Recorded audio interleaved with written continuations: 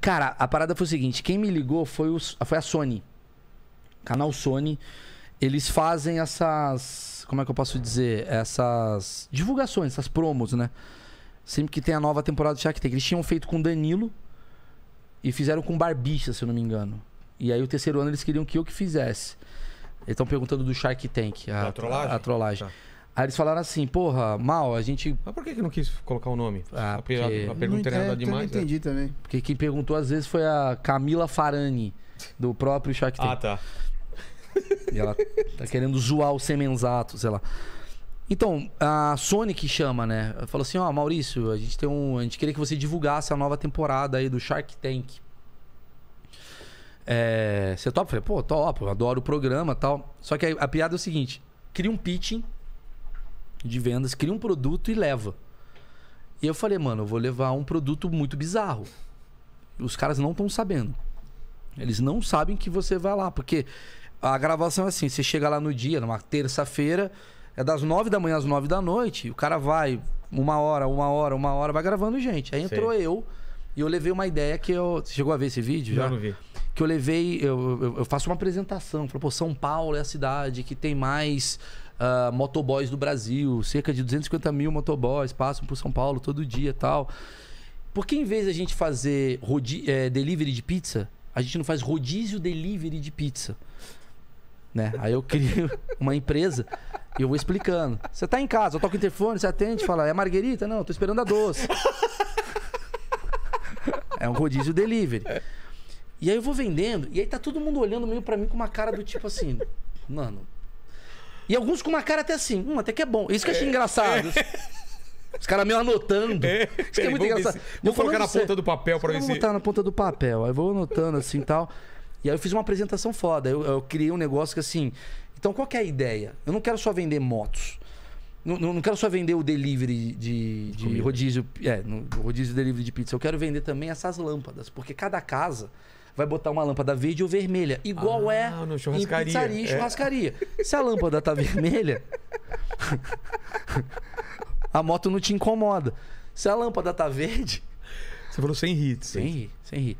Ou seja, isso é para virar uma tendência no bairro e todas as casas colocarem a sua própria lâmpada pro cara que ficar rodando te ligar. Aí beleza, os caras anotando tal.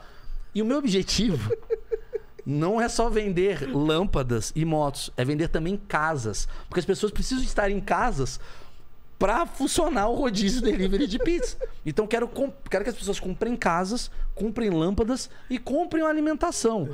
E aí o cara olha pra mim uma hora lá que é o semenzato.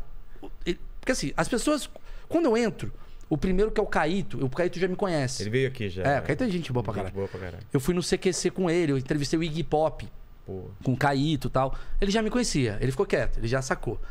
Aí eu acho que a Camila também me conhecia. Né? São cinco, a Camila olhou meio assim. Aí tinha ainda o Apolinário e a. Ai meu Deus, esqueci o nome da menina.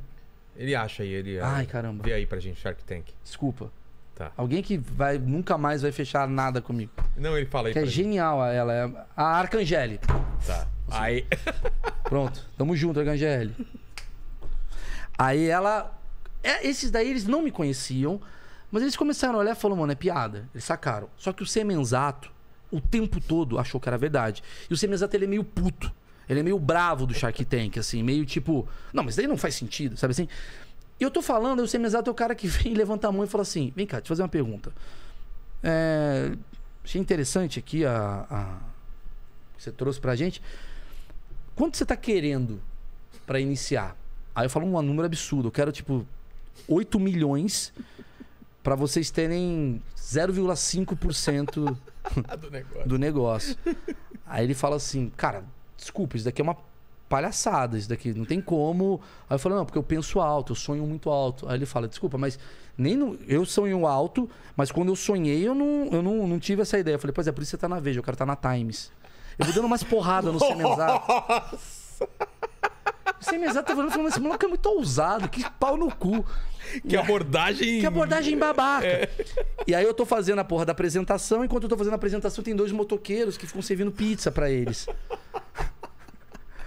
Só sei que, cara, acaba a apresentação, o Semenzato não entendeu que era uma piada. Eu fui fazendo piada. Você foi aumentando, foi Aumentando. aumentando, a aposta. A piada foi escalonando. Começa com uma parada meio séria. É. Aí depois chega um momento que eu mostro os gráficos. Vou mostrar os gráficos aqui. Aí eu aperto o telão, tá eu sem camisa. Sem- Todo mundo ri. E o Semenzato olhando, tipo assim, não, que absurdo. Aí eu começo a mostrar os gráficos. Ó, isso daqui é, o, é um verde, isso daqui é um azul, isso daqui é um roxo. E não falo nada. Porque nada. E o Semenzato olhando falando assim, eu não tô entendendo. E aí o Apolinário, pra sacanear, fala assim. Cara, eu gostei da ideia. Eu quero botar o Polishop envolvido nisso. Aí o Semenzato ele olha e fala assim: peraí. Pera aí. Cara, então é boa a ideia. Eu não entendi ainda. É o cara que tá lá no. Sabe o carinha das três bolas? É o primeiro cara que cai e dá o dinheiro, sabe? Exato, Aquele exato, exato, é, dá pra ganhar, dá pra Pra ganhar. ganhar. O, o Apolinário, ele olha e fala, eu quero. Aí o Semenzato olha, como assim, Apolinário? Aí a Arcangeli já fala, não só quero, e como eu gostei muito da ideia, eu vou querer não sei quantos por cento. Aí o Semenzato ele fala, olha, eu também vou querer. O Semenzato quase comprou a minha ideia, velho. Eu quase fiquei milionário, mano. Eu ia ficar milionário com uma ideia que não existe. E aí, gostou desse corte? Então deixa o like e se inscreva no iCortes, o melhor canal de cortes do YouTube.